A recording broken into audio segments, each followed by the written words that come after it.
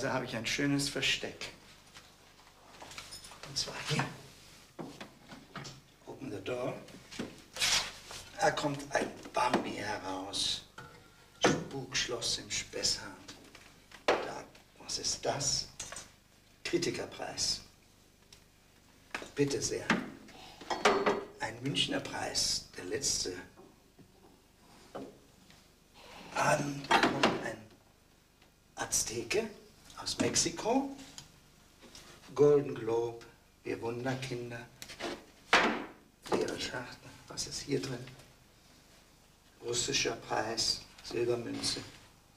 Bitte sehr. Und Bundesverdienstkreuz. Das ist eine Tabakdose von meinem Vater. Das ist nichts. Was ist das hier? Aha, das goldene Filmband. Ja, mit dem Filmband, das hat so seine Bewandtnis. Das erste, was ich bekam, für Karpfengasse war es damals, für die Regie Karpfengasse. Das hat man mir gestohlen aus der Wohnung heraus. Und dann habe ich das der Versicherung gemeldet. Und die Versicherung hat mir wirklich für dieses Band, ich glaube, es ist nur vergoldet oder so, ich weiß es nicht. Jedenfalls habe ich 650 Mark dafür bekommen. Und das Band konnte ich nicht wiederhaben, aber dafür habe ich jetzt ein neues. So, das ist alles. Jetzt packen wir es wieder ein. Alles wieder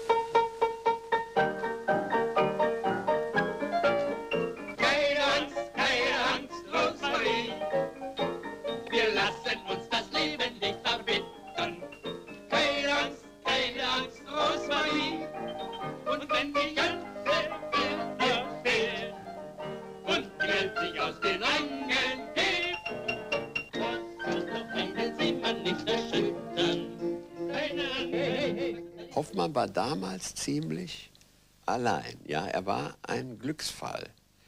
Und äh, er hat auch nicht anderen Leuten, äh, Regiekollegen sozusagen die Wiesen abgegrast. Er hat seine Sachen gern gemacht und hatte äh, immer verlässliche Zutaten. Kurt wollte die Leute auf seine Art glücklich machen. Er wollte die Welt, oder er hat die Welt. Nein, er, er wusste natürlich, er ist intelligent, dass die Welt nicht gut und nicht schön ist. Aber er wollte sie ähm, freundlich, liebenswert darstellen. Er hat also eine großartige Schauspielführung gehabt. Er hat auch einen Blick für Schauspieler gehabt, wie die Rollen besetzt waren.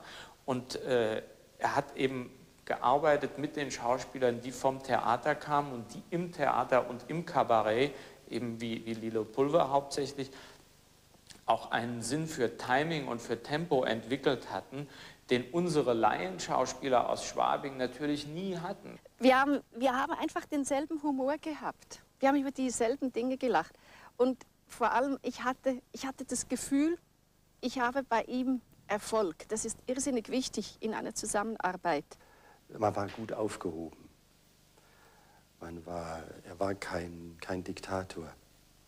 Er, war, er ging auf jeden Vorschlag ein, übernahm auch Sachen, wenn man sagte, könnte man das so machen oder so, machen, wenn er es gut fand. Wenn nicht, wird das also, er es nicht. Er war sehr souverän, er war ein Herr. Ich erinnere mich, er war mit meinem Mann in, in Amerika. Da bekam Hoffmann den Golden Globe für Wir Wunderkinder und mein Mann war dabei.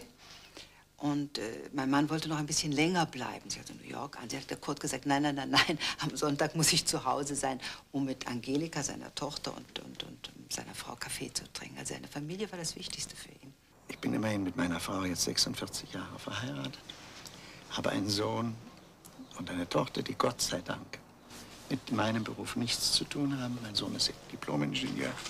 Meine Tochter ist Mutter von zwei Kindern. Warum haben Sie dafür gesorgt, dass die nichts mit Film zu tun haben? Äh, Das, äh, ich weiß nicht warum, aber das ist gang und gäbe, dass Väter nicht wollen, dass sie den Beruf ergreifen. Ich weiß es nicht warum. Das war so. Und, und, trotzdem bei mir zu Hause war es anders. Nicht mein Vater. Und meine Eltern hatten gar nichts dagegen. Aber ich glaube, das war auch die schlechtere Zeit, in der wir ja Filme gemacht haben.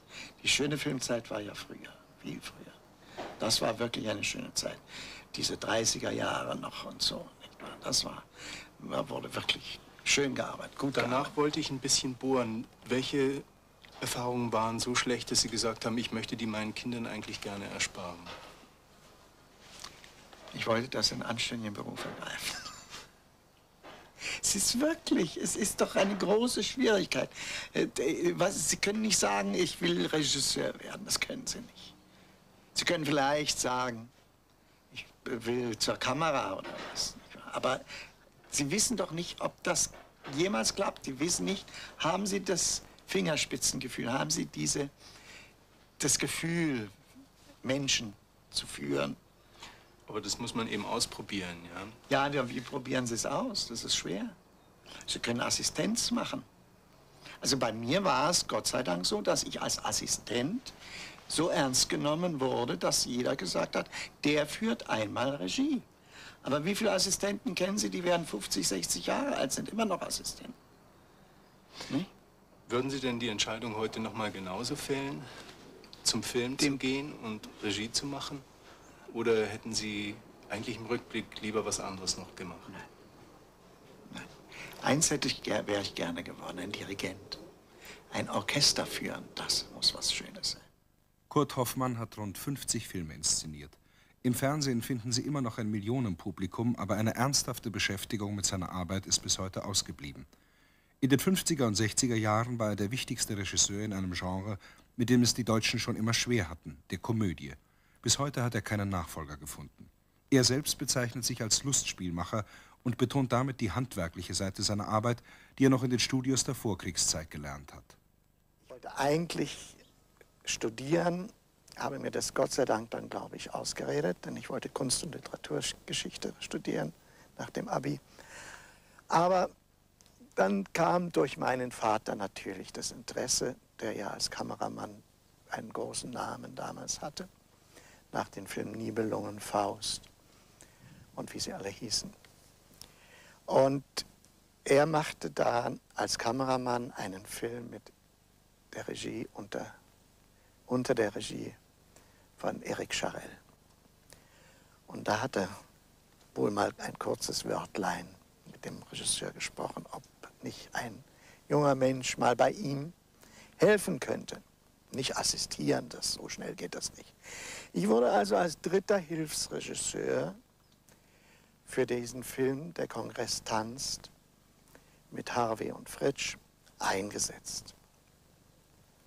Ich war, nannte es damals ein Schlattenschammis.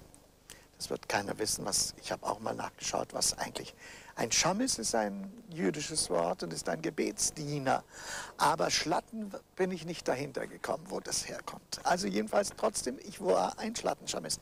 Ich habe die Komparserie aus der Kantine geholt, wenn es Zeit war. Der Regisseur sagte Komparserie, Hoffmann sauste. Dann habe ich Kaffee geholt, Butterbrote geschmiert für einen Regisseur und so weiter und so weiter und das Drehbuch gehalten. Das war schon eine, ein kleiner Anfang, denn dann hatte man die Möglichkeit, doch mal den Text mitzulesen und zu schauen, was da eigentlich steht im Drehbuch, was ich natürlich mit Freude tat. Und wenn der Regisseur das Buch baute, war es auch schon in seiner Hand. Ich habe aufgepasst. Kurt Hoffmanns Lehrzeit dauert acht Jahre. Er assistiert bei Siodmak, Uczycki, Liebeneiner und kommt schließlich zu Reinhold Schünzel, dem herausragenden Komödienregisseur der Ufa-Zeit. Nach dem Film Das Land der Liebe muss Schünzel 1937 Deutschland verlassen. Hoffmann hat damit seinen Lehrmeister verloren. Nun wird er Assistent bei Heinz Rühmann, der zum ersten Mal selbst Regie führt. Der Film heißt Lauter Lügen. Rühmanns Partnerin ist Hertha Feiler. Lauter Lügen begründet eine Zusammenarbeit, die nach sieben gemeinsamen Filmen erst 1971 zu Ende geht. Ich habe mich mehr mit dem Künstlerischen beschäftigt und so war er mir in technischer Weise doch weit überlegen und half mir aber in so taktvoller und netter Form, äh, dass ich ihm die Chance gab, äh, wann war denn das? Ich glaube 39, nicht? Bei Paradies der Junggesellen. Da gab ich ihm die Chance, die Regie zu führen und das ging sehr, sehr gut. Wir saßen beide in der Sauna in der Friedrichstraße in Berlin und, und waren im Dampfbad da, nicht? Saßen uns also nackt gegenüber und er fragte mich, sagen Sie mal, Herr Hoffmann, wie wäre es eigentlich, wenn Sie Regie in meinem nächsten Film führen würden? Mehr war es nicht. Das habe ich getan. Dann habe ich dieses Buch bekommen, Paradies der Junggesellen, gemacht. Mit Spaß und auch mit gewissen Hemmungen natürlich. Das ist nicht so einfach. Bin auch stecken geblieben zwischendrin. Aber ich wollte es besonders, ich, es war, ich wollte es besonders gut machen. Es ist nicht immer gelungen. Äh, war das äh, für Sie ein Problem? Was machten Sie dann, wenn Sie nicht mehr weiter wussten? Sind Sie rausgegangen oder sind Sie auf dem Set geblieben? Nein, ich bin geblieben und die Schauspieler alle saßen und alle waren so brav. Ich hörte nur mal ganz kurz, wie Rühmann, natürlich nicht im Ernst, aber wie er sagte, das wäre vielleicht doch besser gewesen, wir hätten uns den Karl Böse geholt. Männer, kein langes Bei der Terra drehen Hoffmann und Rühmann gemeinsam vier Filme.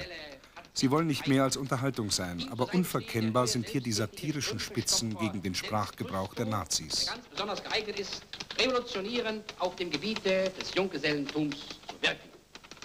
Und die Spitzenleistung meines Hauses, der mechanische Knopfanäher Meknone, nie versagend, immer bereit. Lachen Sie nicht. Wir erleben die Morgenröte eines neuen Zeitalters. Das überzeugte Junggesellentum. Los von der Frau. Hintermann. Haben Sie irgendwann Auseinandersetzungen gehabt mit den Leuten vom Propagandaministerium? Überhaupt nicht. Überhaupt nicht. Ich habe die Leute auch nicht, nie kennengelernt und man musste sie auch gar nicht kennenlernen. Es ist der, der, der einmal kam der wohl der Hitler nach Neubabelsberg und da standen alle, guckten Herrn Hitler an. Das war alles. Es war das im Atelier überhaupt sowas von einer, das muss ich schon sagen, einer Anti-Stimmung. Das war absolut nicht drin. Und die, die nun alle so da gleich nun also Parteimitglied, die sind wirklich selbst äh, schuld daran gewesen. Das, ist, das hat ihnen keiner aufgezwungen. Also Es wurde mir auch nicht aufgezwungen, in eine äh, Kulturkammer oder sowas zu gehen. Das haben wir nicht gemacht. Haben wir nicht gemacht. Betty Grimm und Kurt Hoffmann heiraten 1939. Trotz des vielversprechenden Karriereauftaktes wird der junge Regisseur kurz nach der Geburt seines Sohnes 1940 zum ersten Mal an die Front geschickt.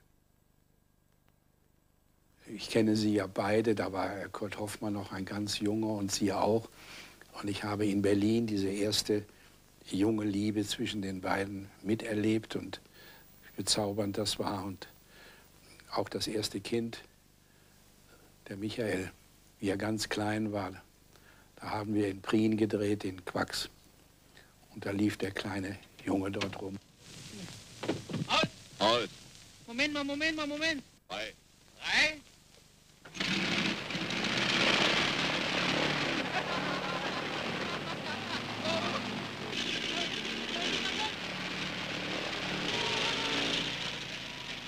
Wir haben technische Dinge gemacht, die eigentlich damals äh, ziemlich unbekannt waren. Wir haben die Maschine mit ins Flugzeug genommen. Es war ja eine ganz alte äh, Maschine.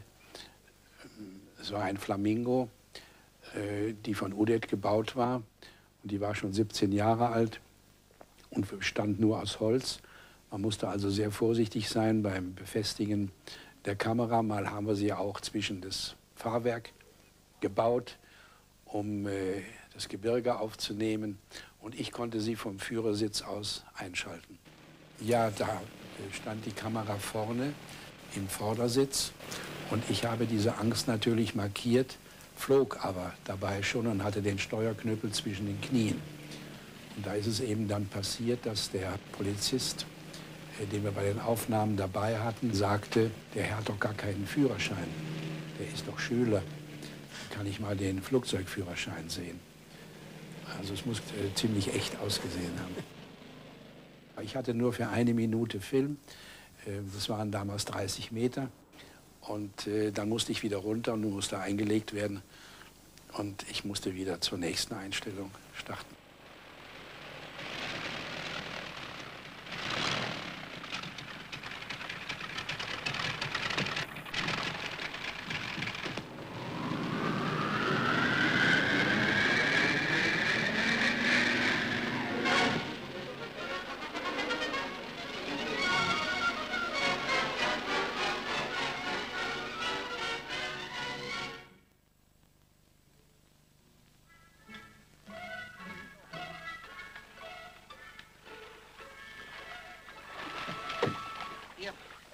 Hiermit eröffne ich die Badesaison.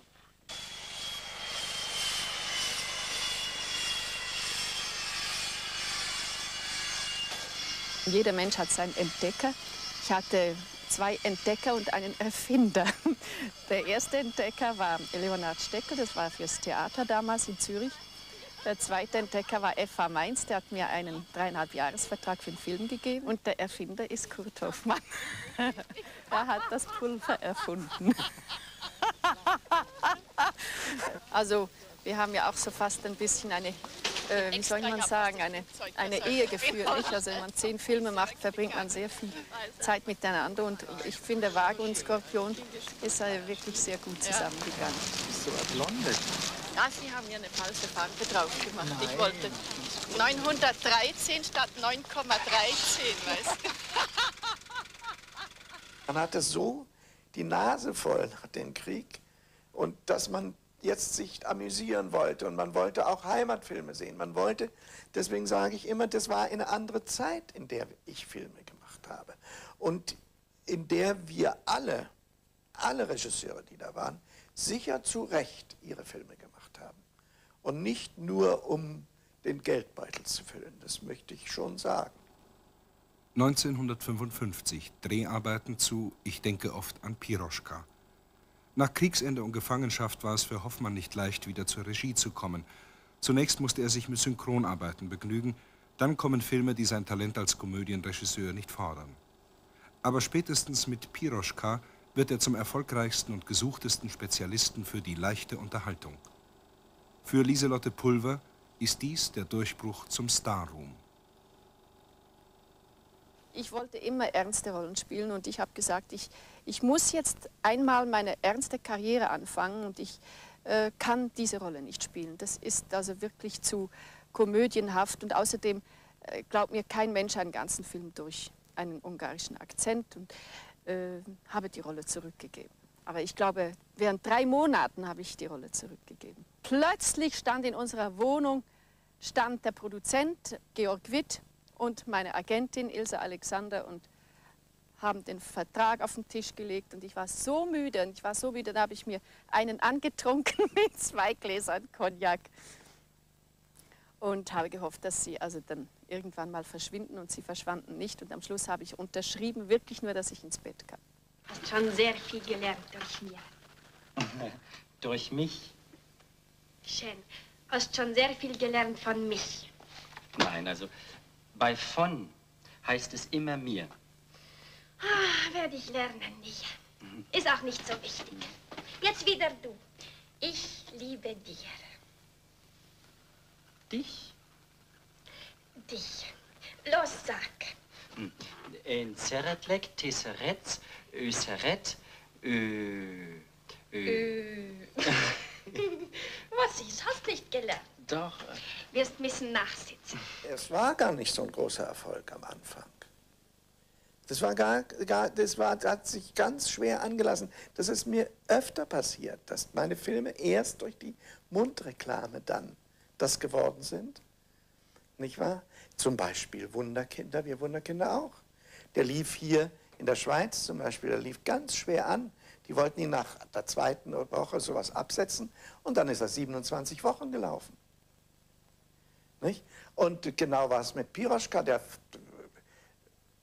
Produzent Witt hat mir damals gesagt, lass uns doch den, den Schluss umschneiden, dass, das, dass da ein Happy End kommt, dass die nicht auseinandergehen am Schluss, die beiden. Habe ich umgeschnitten. Ach, den Schluss gibt es tatsächlich? Den, Den hat es gegeben. Der ist Gott sei Dank wieder also zurückgenommen worden. wie sah der denn aus? Ich weiß es nicht mehr. Ich weiß es nicht mehr. Kommt Keine der Student zurück zu Keine Ahnung, Piroschka? ich war so sauer und so böse. Ich wollte das nicht haben. Aber was machen Sie in der Zeit, nicht wahr? Das war ja noch ziemlich der Anfang im Jahr 55, nicht wahr? Da musste ich dann schon einmal gehorchen. Kurt Hoffmann erzählte mir, er sagt, du, ich habe da eine gute Idee. Du sitzt doch im Zug am Anfang und zum Schluss lasse ich den Zug an den Bahnhof einrollen und du steigst aus und dann sehe ich eine Frau da stehen mit zwei kleinen Kindern oder mittleren Kindern und die sehe ich nur von hinten und du gehst auf die Frau zu und begrüßt sie und du umarmst dich und die Kamera fährt rum und es ist eine ganz andere. Ganz völlig, völlig andere Frau. Ich habe gesagt, ja, wenn du den Film schaden willst, dann musst du das machen. Ich liebe dich, Piri. Zärtlich. Aber das darf man doch nicht sagen. Warum denn nicht? Tun, Andi. Muss man das.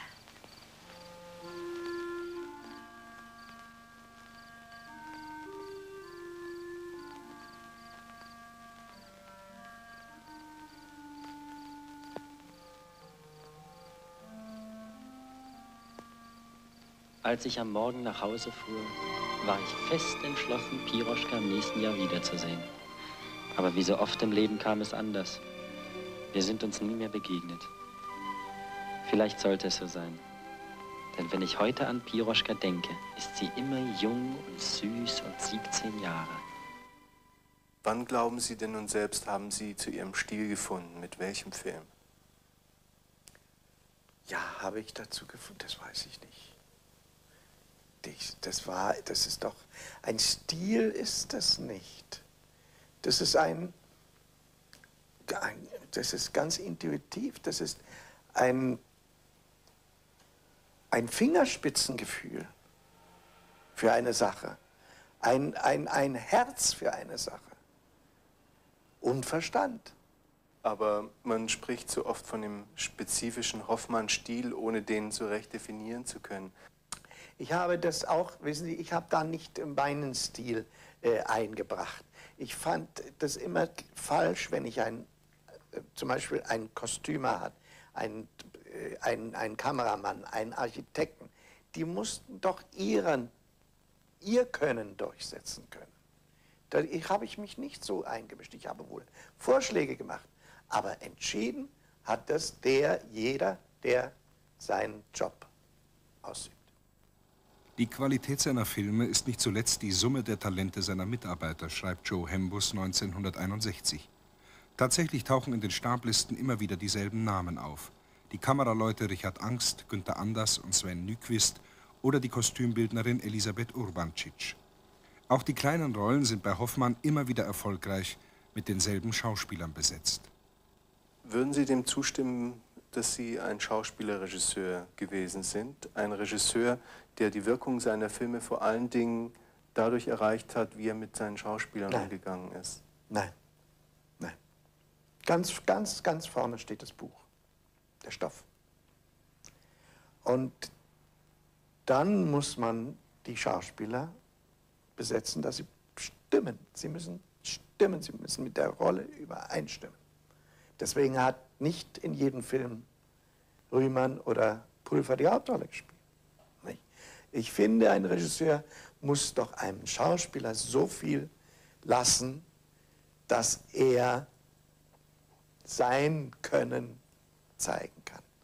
Das ist doch ganz falsch, wenn ich aus einem Schauspieler, zum Beispiel wie es bei Herrn Kortner war, immer den Kortner höre. Ich will den, wenn ich Rühmann habe, Rühmann hören. Oder die Pulver oder die Kotsche. Aber geführt werden müssen sie. Waren Sie ein Regisseur, vor dem die Schauspieler Angst hatten? Äh, man man hat es gesagt, ja. Ja, teilweise wurde es gesagt, was ich, was ich ganz ehrlich nie verstanden habe. Ich war nicht böse, ich konnte auch mal laut werden, das stimmt. Aber das ist nur natürlich. Aber das, was eben sehr, sehr wichtig für, mir, für mich war, das war Präzision, äh, Sauberkeit, ja, Ordnung, im Ablauf auch in der Produktion, nicht, nicht unsinnig hier eine Kamera aufstellen, da eine Kamera aufstellen und so, verstehen Sie, sondern ganz genau wissen, das muss von hier und das muss von dort fotografiert werden. Ich habe auch einmal so gemacht, dass ich eine ganze Woche vorher, bevor Drehbeginn, in den fertigen Dekorationen das ganz, den ganzen Film durchgestellt habe. Also beinahe wie auf der Bühne. Durchgestellt habe und dann die Einstellungen notiert habe mit dem Kameramann zusammen. Aber dann kamen doch wieder neue Ideen und dann kam das wieder, dann kam der nicht von da, dann war das schlecht und also dann haben wir alles wieder umgeschmissen und es muss vom, aus dem Moment herauskommen. Was da alles im Moment entstanden ist, das war eben das, warum es mit uns so gut geklappt hat. Weil ähm, äh, da wurde auf einmal etwas vollkommen umgestellt, einfach weil es ihm gefallen hat, einfach auch aus einer Laune heraus. Er hat gesagt, oh, das ist wirklich komisch, das lassen wir jetzt. Er hat zum Beispiel immer verboten, wenn einem in der Szene was passiert ist, also angenommen, man kommt zur Tür rein, der Kleiderständer fällt um und alles auf den Boden, ich muss alles unter dem Text einsammeln, nie abbrechen. Er hat immer gesagt, nie abbrechen, ich breche ab. Und das ist eben, doch, doch, da war schon sehr viel Improvisation drin. Er hat manchmal sogar, wenn er mal einen Schauspieler einen Vorschlag gemacht hatte, der ihm vielleicht nicht so ganz gepasst hatte, wo er aber aus Klugheit und Taktik dem Schauspieler diese Idee nicht weggenommen hat, hat er dann leise zu mir gesagt, achte bitte darauf, dass wir das so drehen, dass du das hinterher eventuell auch rausschneiden kannst. Er hat meistens nur einmal gedreht, weil er genau wusste, die erste ist die beste. Nie wird der Schauspieler wieder so natürlich und so spontan sein. Gesagt, also gut, wenn in der Kompieranstalt etwas äh, kaputt geht, haben wir Pech gehabt, wir drehen nur einmal. Und dann hast du auch die, die Lichthupe hast du erfunden. Äh, nicht Lichthupe, wie heißt das Licht? Ja, Lichthupe. Nein, Lichtklappe.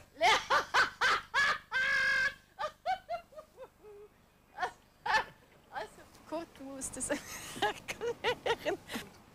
Um Material zu sparen, ist völlig richtig. Hat sie recht. Habe ich gemacht.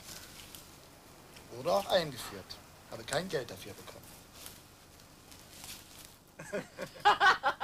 Das müssen wir rausschneiden, die Lichthupe.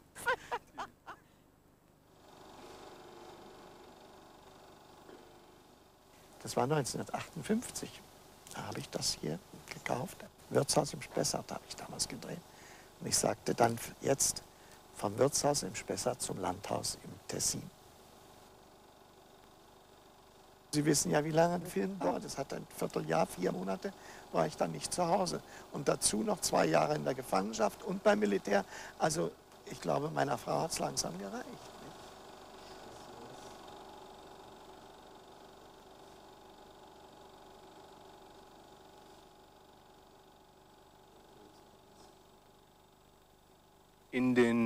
Späten 50er, in den frühen 60er Jahren hat man Ihnen oft den Vorwurf gemacht, dass Sie apolitische Filme drehen. Ja, nun machen Sie mal Politik und lustig zusammen.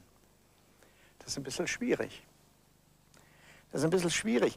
Wir haben es ja doch mit, gerade da, dazu hatte ich ja den Autor überhaupt in Deutschland, den Günter Neumann von den Insulanern in Berlin bekannt, dass wir so viel wie möglich Politisches hineingebracht haben. Wir wollten nicht einen politischen Film machen. Also wenn man mir das zum Vorwurf gemacht hat, dann muss ich das also einfach ablehnen. Das ist Quatsch. Ich, ich mache ein Lustspiel nicht der Politik wegen. Wenn es der Stoff gibt, wie im Spukschloss zum Beispiel, oh, dann natürlich, warum nicht, immer feste drauf. Ne? Aber ich hoffe, dass Wunderkinder nun ein Beispiel war, wie man wirklich ein ganz, ganz, ein teuflisch ernstes, eine teuflisch ernste Geschichte heiter machen kann. Stimmung, es lebe die Nachkriegszeit, die ist fast so schön wie die Vorkriegszeit. Es ist doch wahrscheinlich was dran an den Demokratien. Wollen Sie nicht eine kleine Prise Kokain? Endlich wird wieder die Zeit normal. Jetzt gehen wir ins nächstbeste Tanzlokal. Die Tänzerin zeigt uns da alles schön rosig und rund. Ihr Kostüm ist ein Bonbon im Mund. Der Krieg ist aus, man ist zu Haus und Corned Beef schickt Onkel Sim. Wer fleißig schiebt, der ist beliebt und wer nicht schiebt, der ist plem plem. Leute, genießt bloß die Nachkriegszeit, denn bald wird sie wieder zur Vorkriegszeit. Und weil wir dem Frieden bei uns hier nicht trauen, wird auf die Pauke gehauen. Mir hat es sehr gefallen, äh, dass wir uns dazu verbünden könnten. Es war nicht ganz äh, auf der Straße gesungen, dass das ein Erfolg werden würde. Und es war ein riskanter Stoff, muss man auch sagen. Es ist Mitte, Ende der 50er Jahre. Man redet nicht sehr gerne über die jüngste Vergangenheit. Wir sind mitten in der Restauration. Also es war doch ein Stück Mut dabei, diesen Film zu machen. Das glaube ich wohl auch, kann man also jedenfalls von damals her sagen. Die Kabaretts waren, wenn man es vergleichen will, schärfer. Aber was äh, auf diesem Gebiet an Film da war, das war, hat sich eigentlich an dieses Thema der Selbstdarstellung dessen, was mal im Dritten Reich sich abgespielt hat, vor allem in diesen äh, seltsamen Übergängen der Entwicklung, das war, glaube ich, so noch nicht da gewesen. Nun waren da ja zwei besondere personifizierte Vehikel in dem Stoff. Das eine waren diese Neuss und Müller, der Rahmen, von dem dann auch immer gemeint wurde, ein Rahmen distanziert immer. Und es war ja doch eine, wie ich finde, schön geratene Liebesgeschichte drin. Äh, und Felmi Koschan, das war damals auch, ich will nicht sagen, dass das ein Filmpaar war, aber die hatten die Potenz eines Filmpaars. Bitte um halb acht steht mir das Bad zur Verfügung. Ich muss pünktlich in der Redaktion sein. Sie? Ja, ich. Wie kommen Sie denn hierher? Ich wohne jetzt hier. Ist Ihnen dieses nicht recht? Natürlich ist mir das nicht recht. Ich hab's nämlich nicht gern, wenn mir Mädchen nachlaufen. Ich bin Sie nicht nachgelaufen. Ich habe dieses Zimmer von Freund Sis übergenommen. Und machen Sie sich keine Sorgen, ich werde Sie schon nicht belästigen.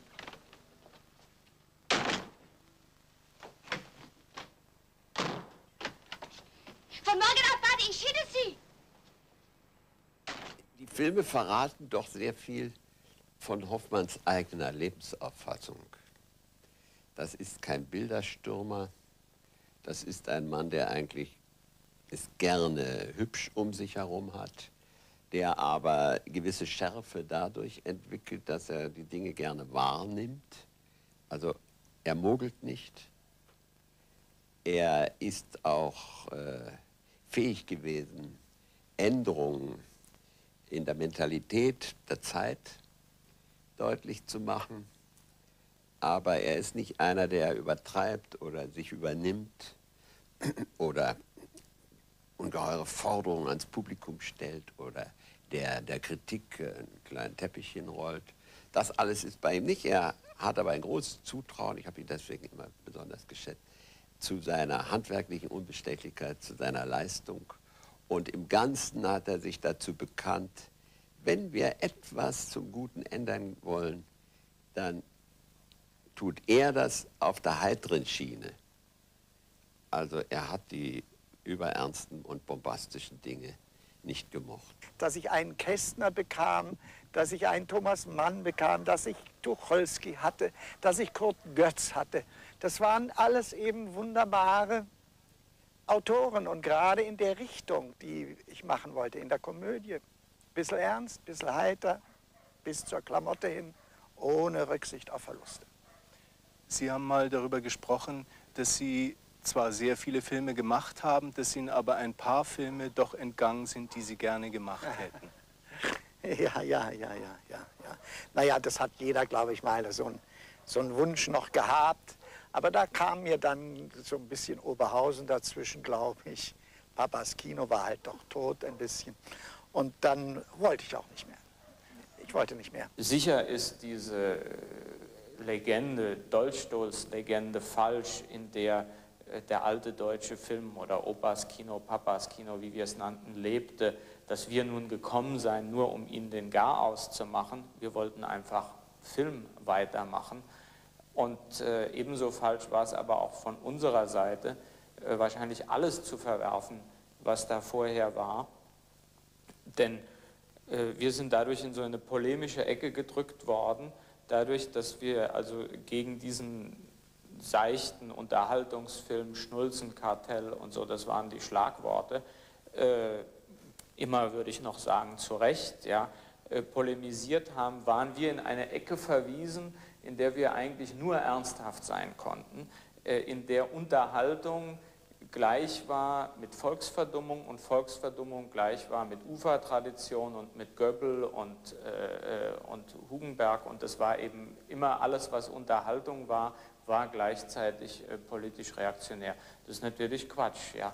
Ein Witz äh, kann im Gegenteil äh, da ganz anders wirken. Ich wollte noch gerne eine schöne Liebesgeschichte machen. Postkarte. Ich wollte einen Film machen, Offenbach ganz durchkomponiert. Offenbach mit Kostümen von Retschnitschek und Töni, den Namen Töni wird man heute noch kennen. All diese, diese Jahrhundertwendezeit, diese dralle, dicke, feste, unverschämte, die hätte mir schon gefallen für einen Film. Vor allen Dingen musikalisch. Das Musikalische in meinen Filmen, äh, äh, glaube ich, war immer etwas Musikalisches wichtig. Vielleicht hat auch Kurt Hoffmann, der doch seine Erfolge gewöhnt war und auch geliebt hat, an dem weiteren Down der Branche des Films im Lande nicht mehr so persönlich teilnehmen wollen, wobei ich dann wieder traurig bin, dass ihn das Fernsehen nicht so gewonnen hat. Dem hat er sich auch schwer sozusagen gemacht, obgleich ich äh, noch weiß, dass, äh, da habe ich seinerzeit die Entstehung vermittelt, äh, das Haus in der Karpfengasse eine wichtige erste Sache eigentlich zwischen Film und Fernsehen wurde. Zum ersten Mal ist das Fernsehen an der Produktion eines Kinofilms beteiligt. Die Geschichte aus dem besetzten Prag, alles andere als eine Komödie, zeigt Hoffmann auf dem Höhepunkt seines Könnens.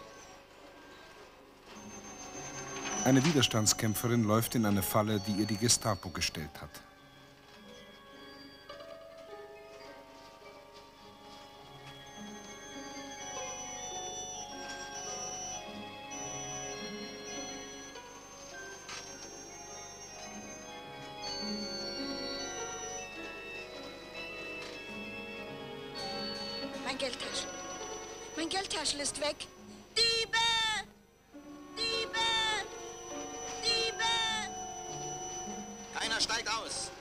Dieb werden wir gleich haben.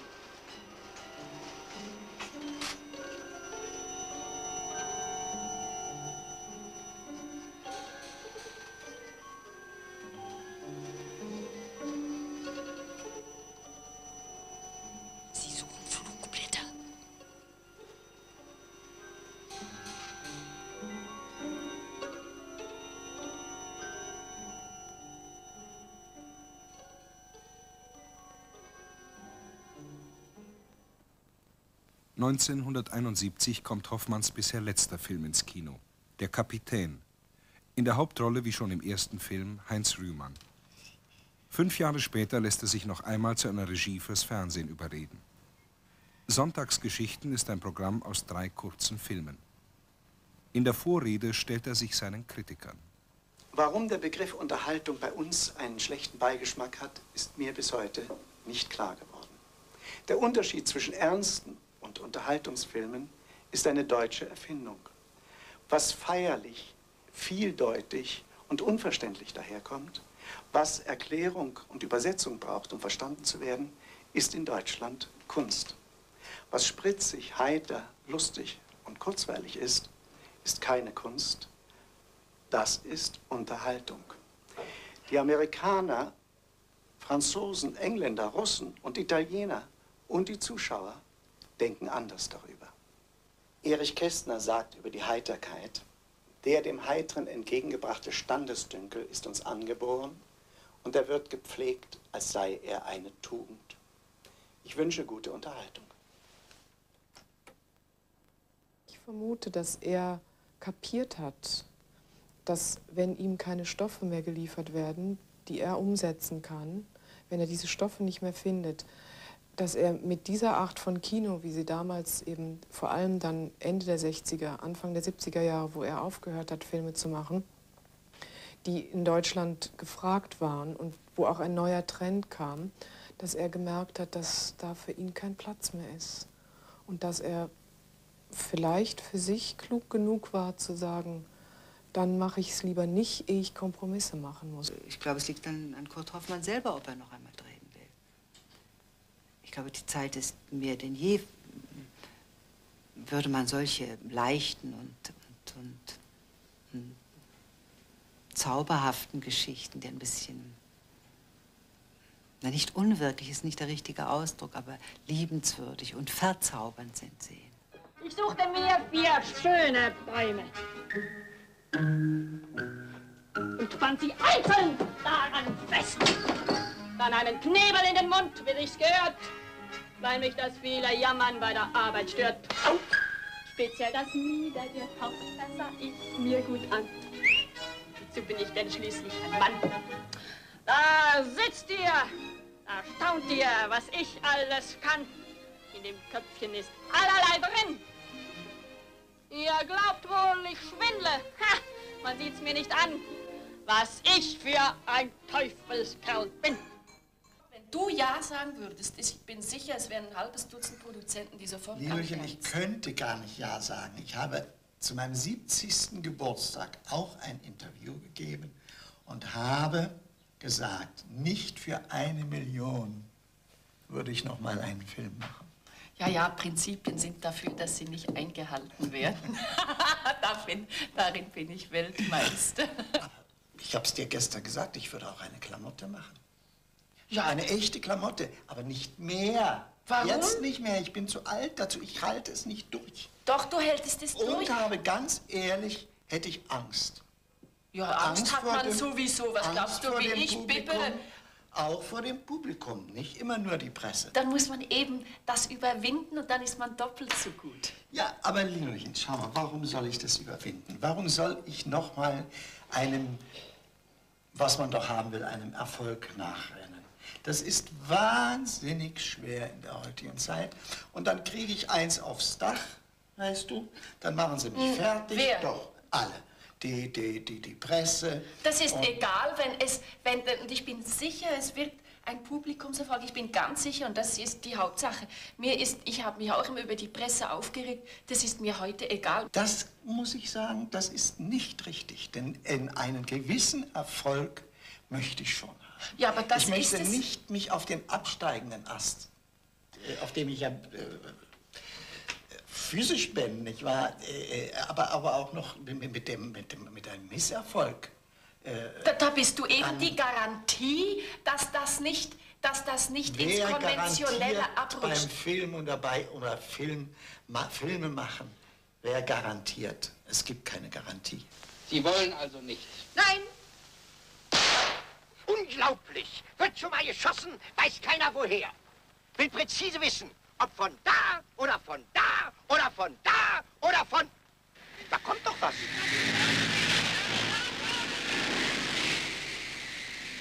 Und Mese, Wascherhe, Guter Schibuster! Was ist denn nun los? Der Film ist gerissen. Ich inszeniere ja heute Nacht, heute noch beinahe nächtlich. Aber es ist das Merkwürdige, in meinen Träumen bin ich nie Regisseur. Ich bin immer eher ein Schlattenschammis als ein Regisseur. Ich bin unter einem, ma- mache ich was, hole was oder sage was. Es ist verrückt, ich weiß nicht warum. Aber Regie habe ich also auch im Traum aufgegeben. Und was sind das für Szenen, die da inszeniert werden? Wo, wo inszeniert? Im Traum? Im Traum, ja. Verrückt. Komplett blödsinnig. Ich weiß es nicht, ich kann Ihnen nichts erzählen, weil ich es alles wieder vergesse am nächsten Morgen. Aber es gibt es und das, äh, also jetzt sind Sie bis in meine Träume vorgedrungen. Ich meine, jetzt ist genug.